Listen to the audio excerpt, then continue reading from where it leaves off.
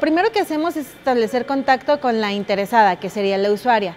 Le hacemos una visita o bien la citamos en las instalaciones de la Comisión Estatal de Seguridad Pública.